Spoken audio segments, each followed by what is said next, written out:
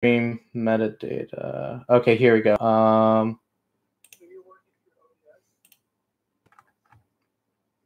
how did you? Yeah, I'm working through OBS. How did you set this up as a stream?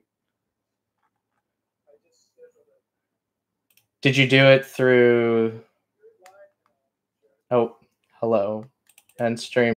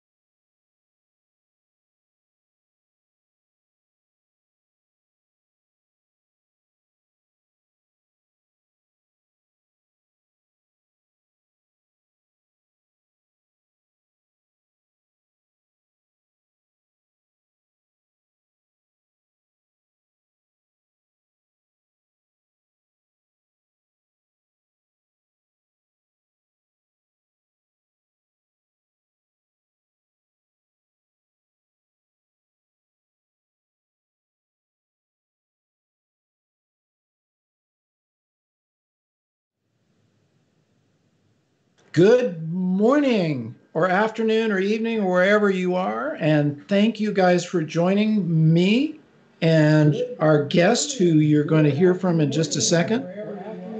And I'm going to mute that. There we go. So, uh, hey, uh, my chat is working and I can read it, which is really awesome. So, if you guys want to do a little roll call, tell me where you're from. I think that would be awesome. Uh, I can see a bunch of you out there. We are going to have a lot of fun here this morning.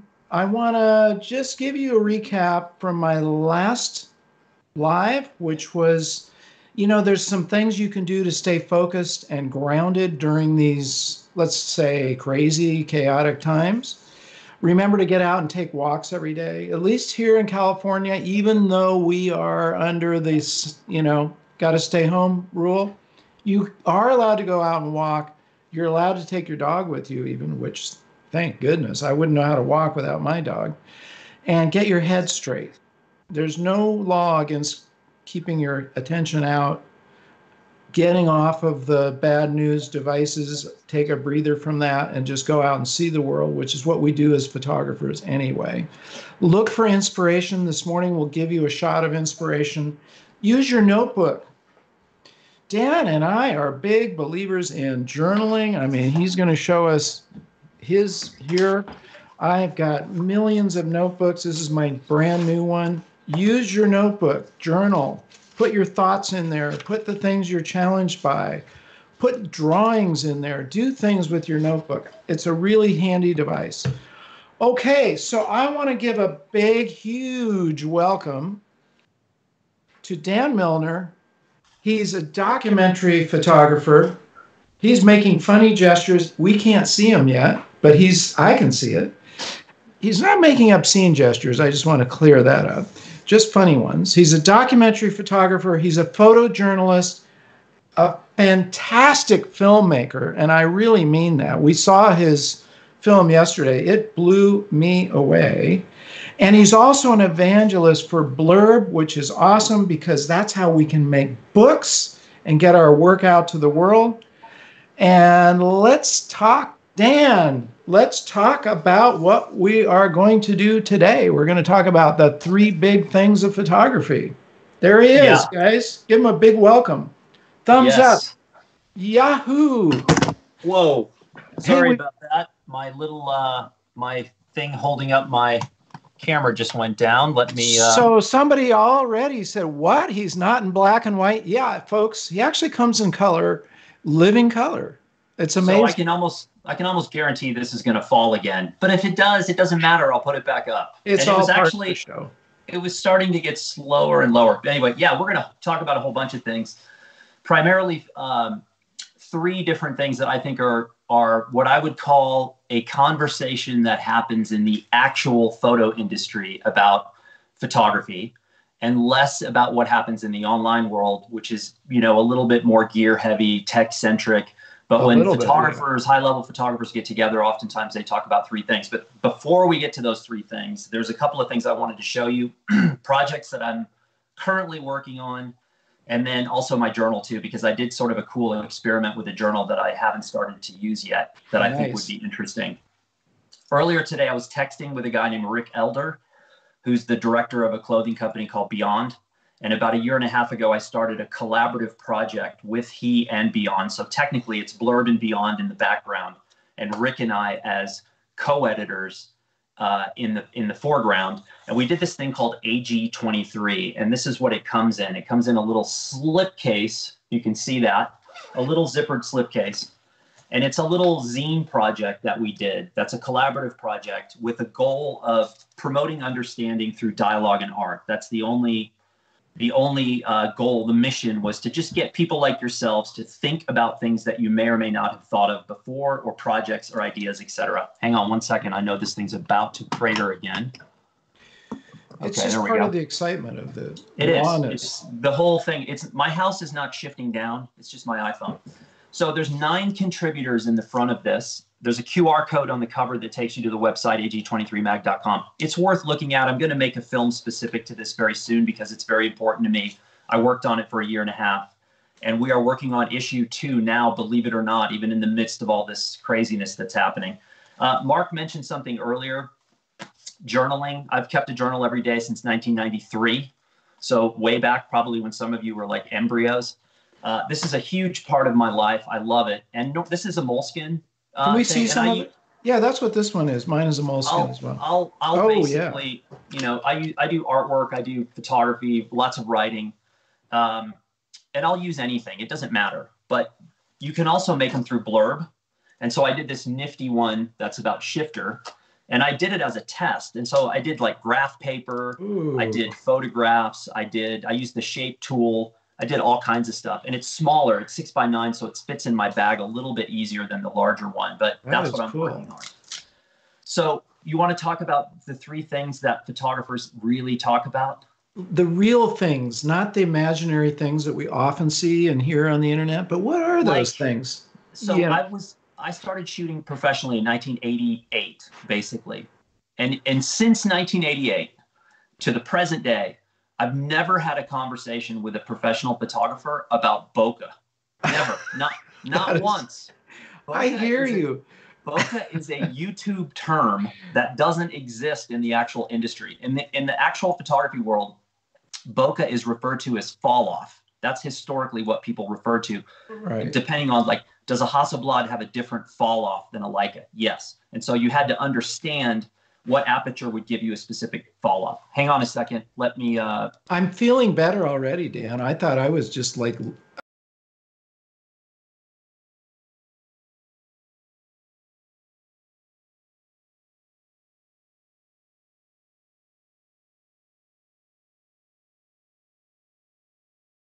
Really taught, use the term bokeh, but apparently you're another one. So, so bokeh's, immediately bokeh's better. YouTube creation. No one in photography talks about that, and um, they talk about other things. They also don't get into arguments about what 50 millimeter lens is better. They don't. They ne- yeah. they never have and they never will. It doesn't yeah. matter. So, to me, photography, whether you're a still life person or a landscape person, or like me, you shoot mostly people people based long term projects. Is there are three items that go into a photograph that I think are absolutely essential. Without them, there is no point in walking around with a camera. You're sort of hunting for these three things first. The first two are are unique in their own ways. The third one is where it gets a little tricky. The first one that we're going to talk about is light. Light is this, in my opinion, is the single most important thing that you have to understand before you make great photographs. And light can be front lit, back lit, side lit. If you're looking for a couple of photographers to study light wise, look at Sebastião Salgado. I think mm. Salgado sort of opened my mind in terms of shooting into the light. Yes. I was taught in photography to school to shoot with the sun over my shoulder. And you know, you always had to have the sun front lighting your subjects, and that's not the case. Shooting into the light um, will open up the other half of the world to you. Um, there's another guy who did, who's known as a reportage photographer, but he also did portraits. Antonin Kratochvil, I've mentioned him before. Uh, his portrait series in particular, those things, he's famous for sort of shooting into the light. That's a good thing to look at. Backlit, side lit. I want to show you a um, an image that I think is. I'm going to turn this down. An yeah. image that really uh, is based on light. This is a, by the way, this is an 11 by 14 double weight fiber silver print made in the dark room by yours truly. So I had to. This was blood, sweat, and tears. Hang on, I'm that's going to. Re- that's the real deal, Dan. I mean, you. Yeah, that's a real. Uh, the real deal. That, going into the dark room, 11 by 14. Bam. Yeah, yeah. So this is a picture that's based on two things. It's based on form, and it's based on light. So right. obviously, you've got this guy in the foreground and he's my primary subject. I have my middle ground secondary subject here, but the real the real reason this works is because of this light source coming from the back.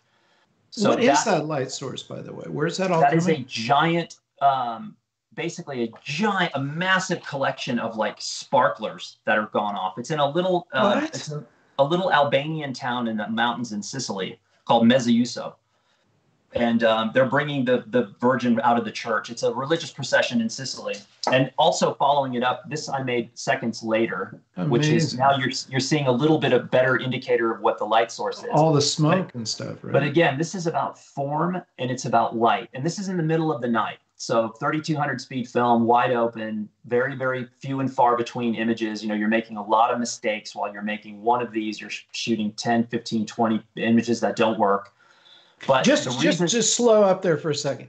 Yeah.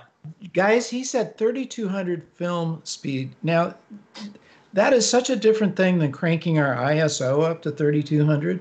That yeah. means you had to take what, Tri-X? No, it's T-Max 30 T-Max 3200. Oh, it's 3200. Okay, good. Yeah. So you didn't now you can you can take Tri-X and push it to 32, but it really yeah. starts to break down about 1600. Pretty, pretty yeah. messy, yeah. Yeah. So okay, but he was using film at 3200, which is unbelievably off the chart, basically. Yeah. So know? and film doesn't see in the dark like digital does. So I could have shot that same image with digital at 400 ISO, but right. and it sees in the dark. It sees in the dark kind of too well at times. And you, if I had shot that with digital, I would have had to have gone in post production and brought the image back down to what I saw in real life. Right. Film film was more limiting in a good way, I think um, and you had to commit. So 3200 was a film that you could shoot at 800 and all the way up to 64,000. And you had to understand how to use it, what developers to use, what agitation, what temperature. You know, it was an art form of understanding films yeah. and papers and chemistry.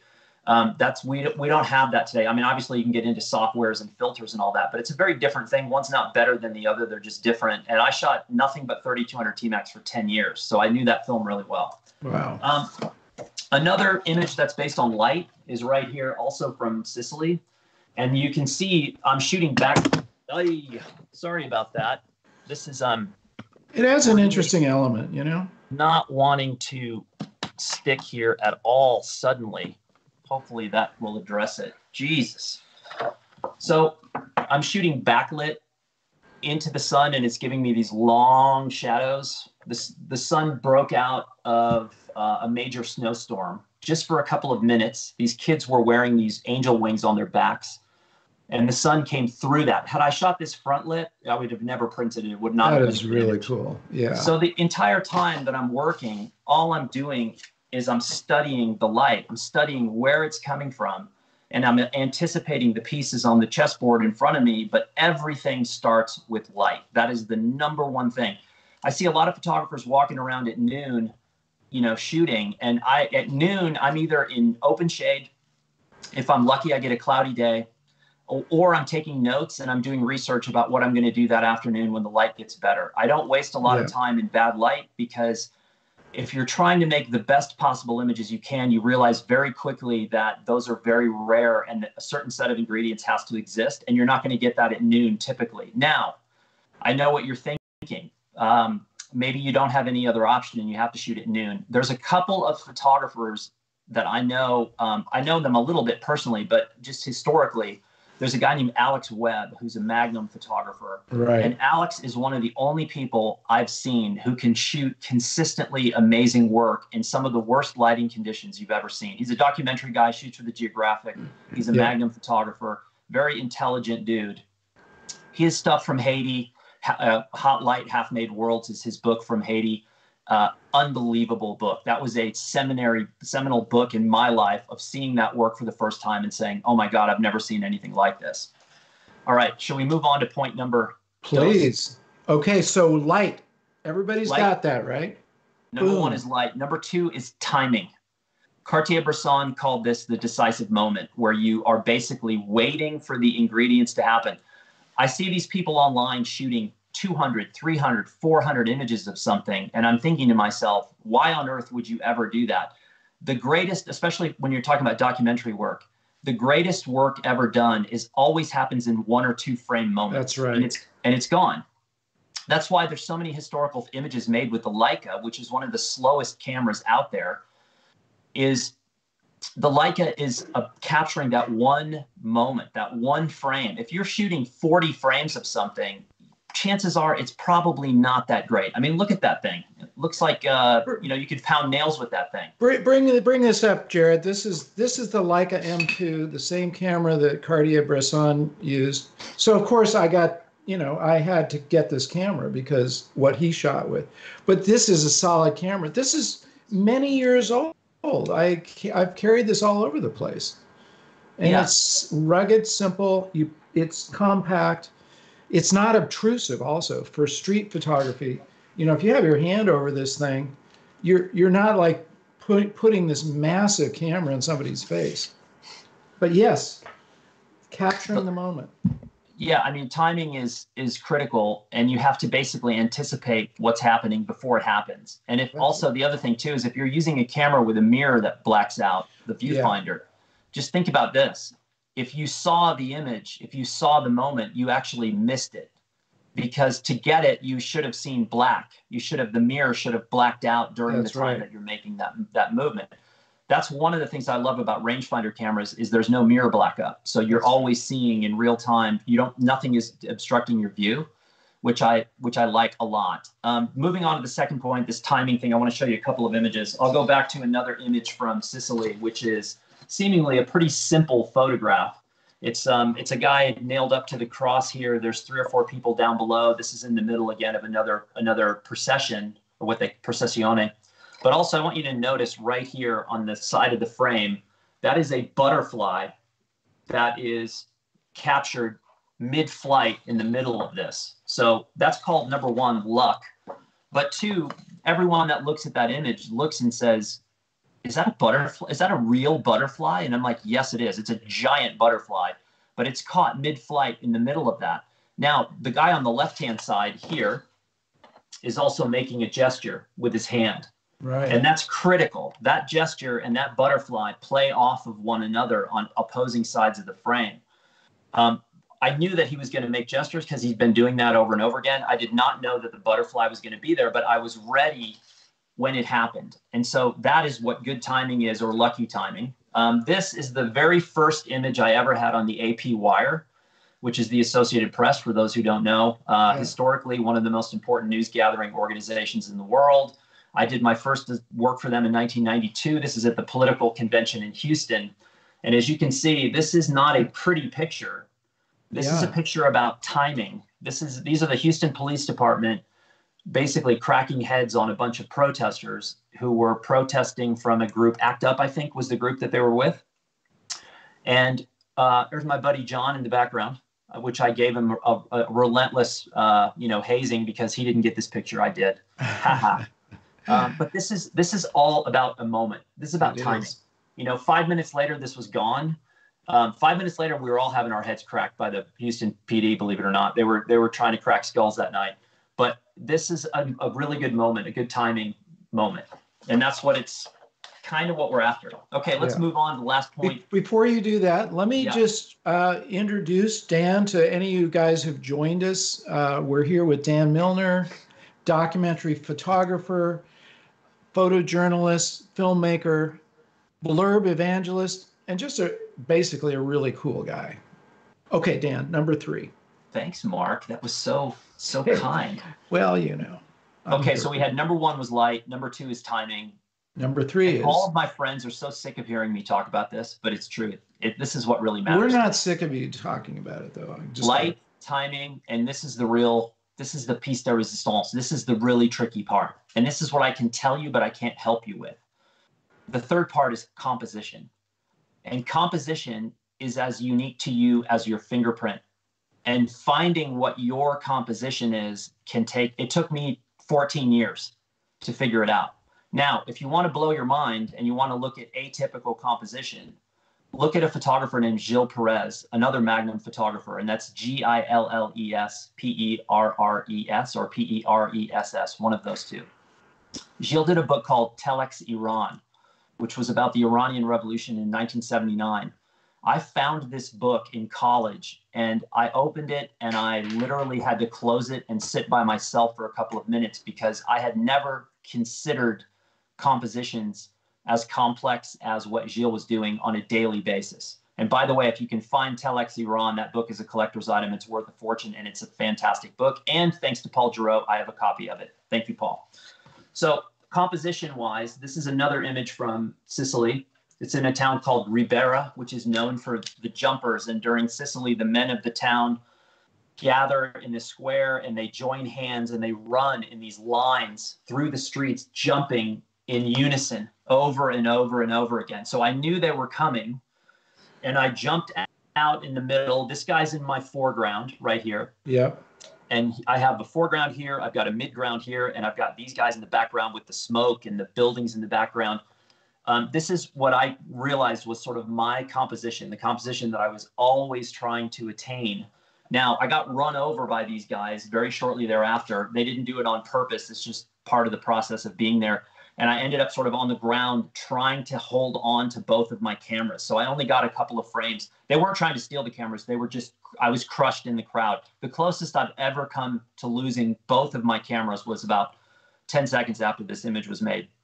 But I knew I had this image. I focused on the background, let the foreground go soft. And what I'm doing is I'm using a wide angle lens to build depth in a two dimensional image. Right. And your composition, you're not going to find it online. You're not going to find it um, studying what other people have done. You're going to find it by shooting every single day. And you're going to find it by making mistake after mistake after mistake and not feeling it. And then all of a sudden, you're going to feel it. And the key is to be able to reproduce that feeling on a consistent basis. And over time, you'll you'll understand what your composition is.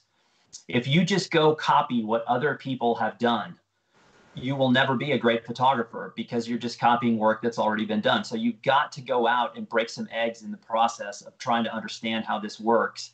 And that Gilles Peress has one composition, Alex Webb has another, Susan Meiselas has another, Paolo Pellegrin has another, Alex Majoli has another, Martin Parr has a totally different compositional style than all of these other people. You know, you look at just take one agency like Magnum or Seven another great agency, and you look at the range of photographer they have, they're so different. And that came from every single one of those people spending years refining their technique and their understanding of what they're doing. So light, timing, and composition are the, th- the primary ingredients in my mind of what makes a great photograph. Dan, that's brilliant. By the way, you guys, we are going to be releasing a course with Dan, a course. Okay. I mean, you're getting the Baskin Robbins little ice cream scoop thing here, which is making us all hungry for more, right? But imagine a full course with Dan taking hours on each one of these points. Uh, it's going to happen. we're just waiting for the timing. He's a busy guy. As soon as we can free him up enough, we're going to shoot that course. It's going to be amazing. Okay, so thank you, Dan. We're going to take some questions, and then Dan's got some pointers. Should we go through those first? For, Up to you. Uh, let's take a couple of questions, and we'll close on that. So, yeah. Uh, let's see. Of course, yeah, about time. Three points or a lifetime of work. That's not a question, but thank you. You're absolutely right. That comes from Chris. Thanks, Chris. And somebody else, Dan, they're signing up for the course already. We've got to get this done this afternoon. Okay. They're yeah, already, we're gonna bang this thing out today on Sunday. They're already lining up. So, uh, who has a question out there? Meanwhile, you guys put your questions, but meanwhile, Dan, give us those tips for surviving the craziness that we're going through right now. I think this is um, these are points that are about working from home, which in the in the middle of this thing, um, there's a lot of people working from home who've never really had to do that.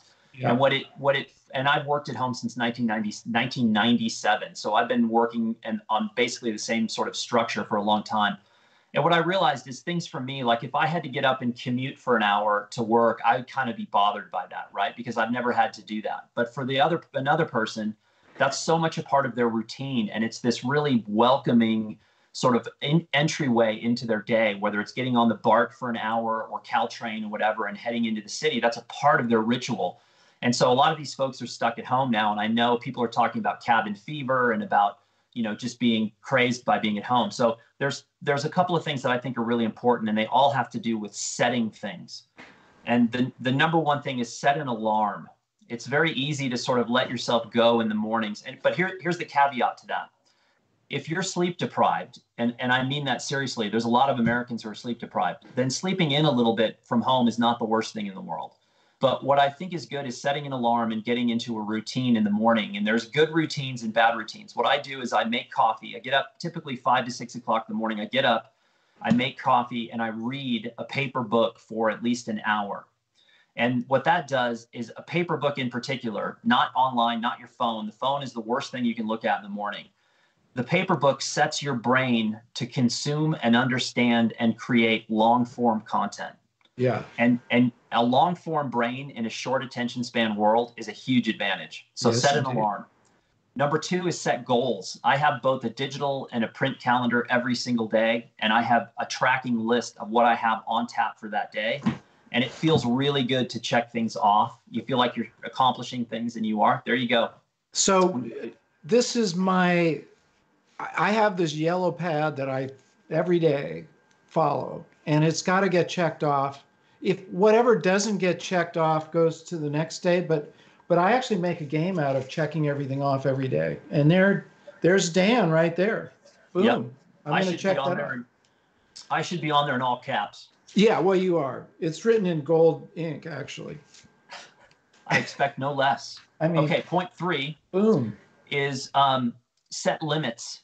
So you set an alarm, you set goals, and you set limits.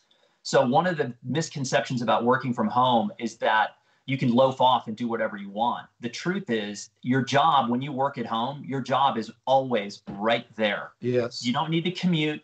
It's literally staring you in the face. And if you don't set limits, you'll end up working 16, 18 hours a day and you'll waste a ton of time too by like going online and and you know trying to do a bunch of stuff you don't need to do. So set parameters and say, look, I'm going to work from 8 to 6 or I'm going to work for 3 hours and take an hour break, whatever it is. Yes. Set limits. Number 4 um, to this is sort of to your point, Marc, which is set your heart rate.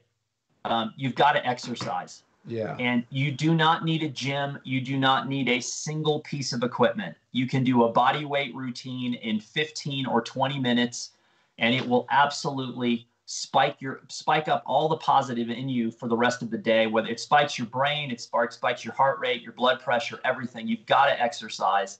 I'm a big yoga fan. I've been doing yoga every day for years and years. Me too. I do it by myself. Again, yoga is not about flexibility. You don't have to be good. There's a million tutorials on YouTube that are very good. Just start small, learn to breathe, etc. So spike, set your heart rate. And five is set all the power options to off. That's my last tip. At some point in the day, you turn off your phone, your iPad, your laptop, your television, and you go out. And in my opinion, the best thing that you can do when you power off and you set everything to off is daydream. So, daydreaming is an incredibly important part of being creative. We all got in trouble for it at school um, over and over again. Stop daydreaming, your head's in the clouds. Well, guess what? That is where most good ideas come from. They come when nothing else is taxing your brain. So set a set an alarm, set a goal, set a limit, set your heart rate, and set everything to off. Boom. Dan, I now know why we synergize so well because those are the exact points that I follow. And I think, you know, it's if you if you look into very creative people's lives, they're doing some form of these five things. There's no question Yeah. about it. Yeah. And I, I, like you, have worked from home for years, and you have to discipline yourself, as you said. You have to put Yeah. those edges on the channel. Otherwise, you're just who wants to stare at a, a friggin' computer all day and not get anything done? That's the worst thing you could do. The computer, Bingo.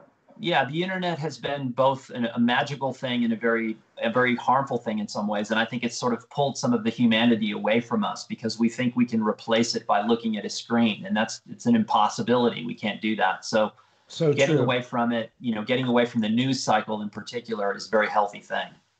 We have a lot of questions, so we're going to kind of do speed, you know, speed answers. I'm just saying that. Okay.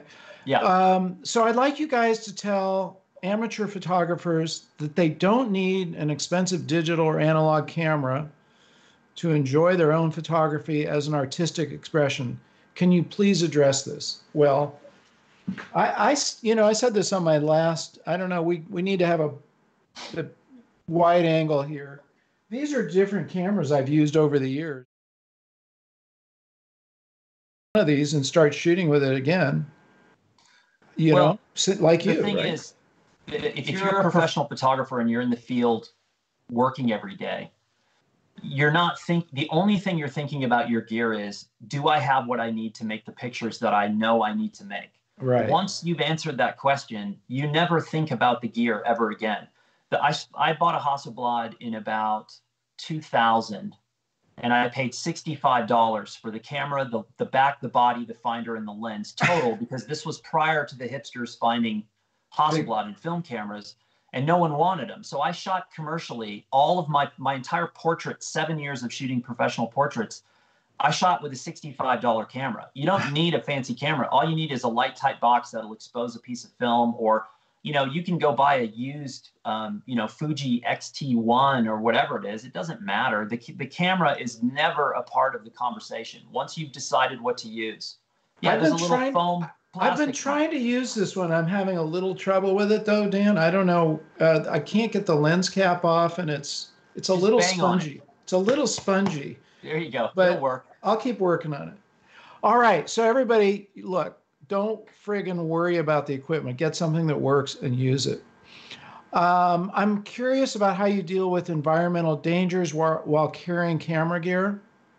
I shoot in Oakland and Berkeley, and often I'm the only person around with hundreds of dollars worth of physical items. Yeah, so you know, it's a good question. There have been um, there have been plenty of times in the past where I've been in scenarios and locations where it was not safe and was working in a very dangerous environment. But there's a couple of things.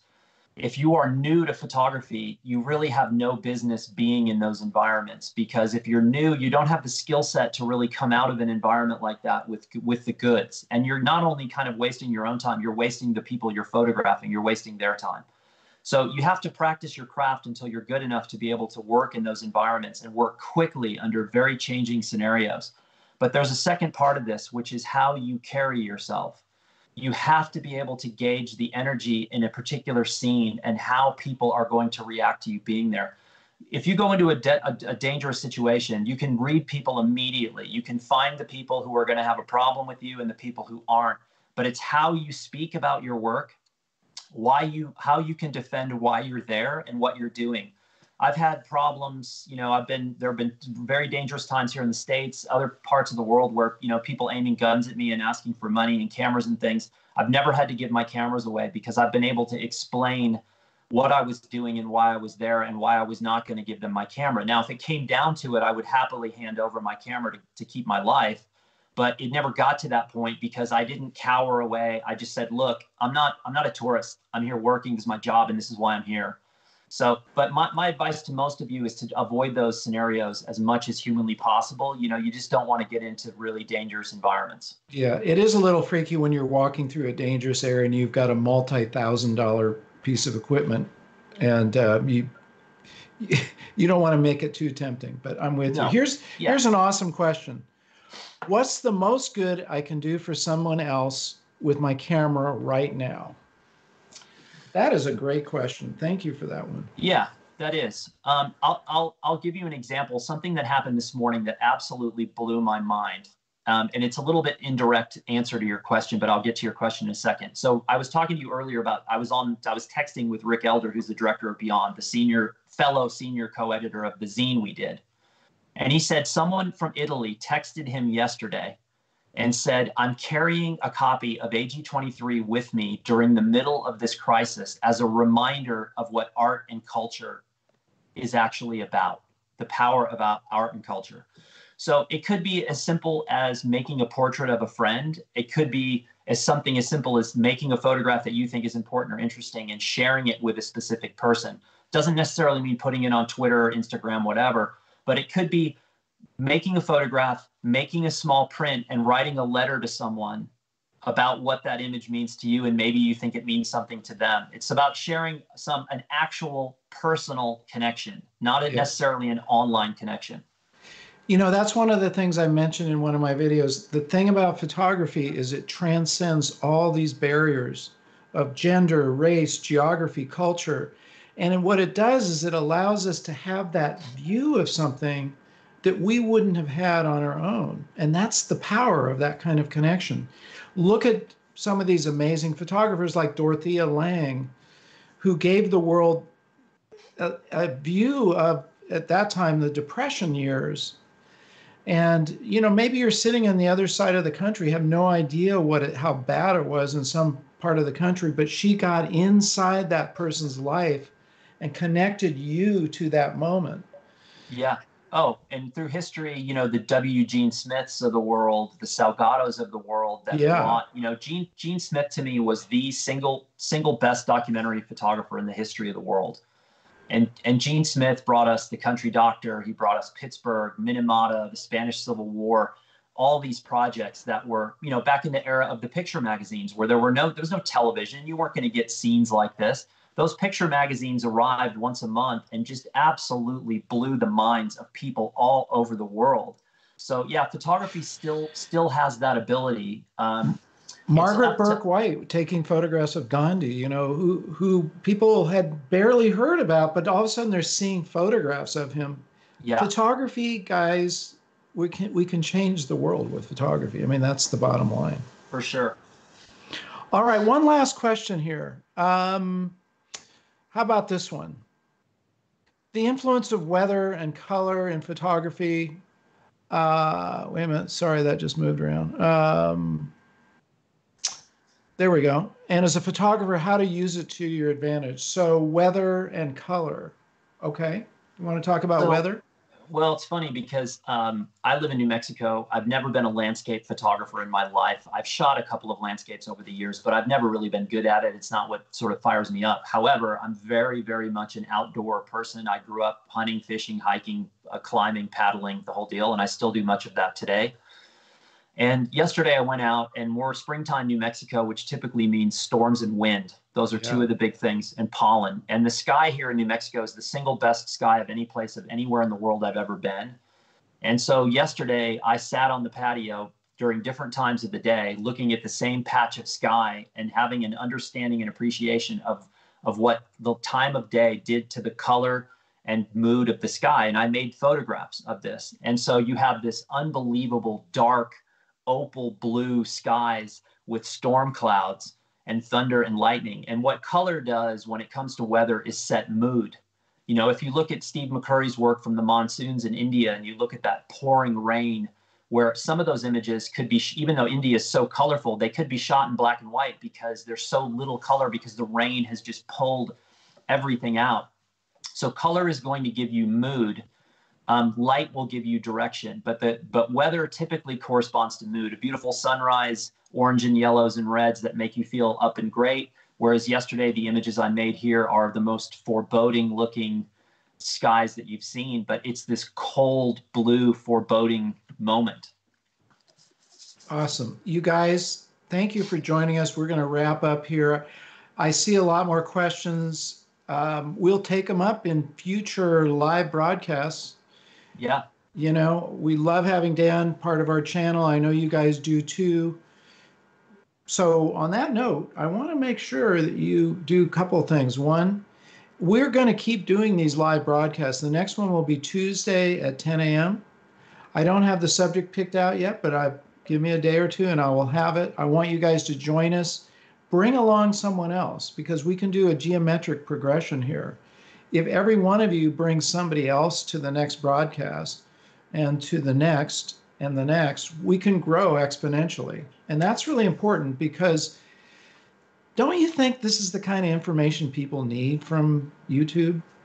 I mean, come on.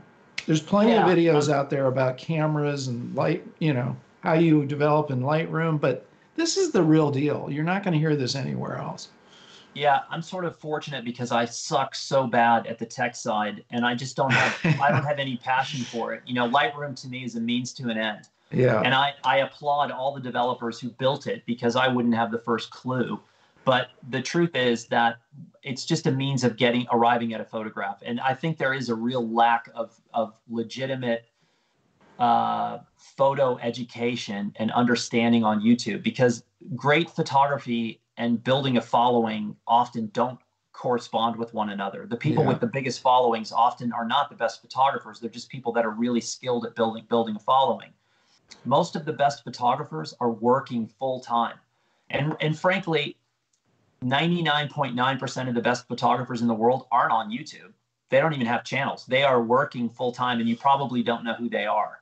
So it's it's a pretty fascinating um, understanding once you dive into into both worlds. And the YouTube world is is important and it's interesting, and there's a lot of great things. But the other part of the photo industry is equally as is interesting. True dat. So bring along somebody else, share the video, make sure you do subscribe if you haven't already, and ring that bell so you get notified. And come along to the next one. And, you know, listen, we love hearing your questions. Uh, by the way, this video will be, as soon as we're done, it will be live again on YouTube so you can watch it again. You can send it to your friends. You always have it there. I'm so, going to try to figure out how to keep my phone from falling. It's suction, it's suction cup to my file cabinet. It should work, but it fell like three times. So I apologize for that. But I think you were doing it on purpose just to prove that technical stuff does not need to be perfect to get your message across. Isn't that and true? And my sister called in the middle, and I'm getting a relentless barrage what is that? of text messages from oh, someone. Oh, whoa, okay. Somebody just knew you were on the air, and that's what you're doing. I didn't know. I didn't know if you were wiping bugs off the screen. No, or... it's. I'm getting text messages like one every two seconds. I, I, I, don't get me started on text messaging. He's somebody said those piggy suction cups suck. Okay. Yeah, it's gonna. I, didn't know they're called piggy we're, we're getting there, guys. Yeah. You know, you're getting the raw version of this whole thing, which is always more exciting. So, Dan, thank you. Thank you again for joining us. Guys, I am going to talk him into doing this course as soon as we possibly can because this is the real deal, right? Okay, leave your comments on the actual video. Subscribe, like, share, and remember to get out and capture your own images of life.